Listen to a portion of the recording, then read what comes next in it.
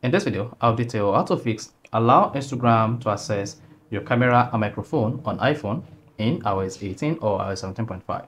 So if you're trying to record stories on your Instagram app and all you see is you need to allow your Instagram account to access your camera or the microphone, this video is going to walk you through. So if you don't know this video, if you found this video informative, please don't forget to like and subscribe. And the first one to do when you want to allow camera and microphone access on Instagram app or Instagram account is go to your iPhone settings then on the settings page, locate Instagram. So if you're using iOS 17.5, you just need to locate Instagram on this page.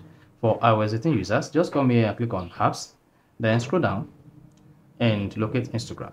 So once you can access the Instagram settings page or profile page, click on microphone and camera to turn it on under allow Instagram to access. there.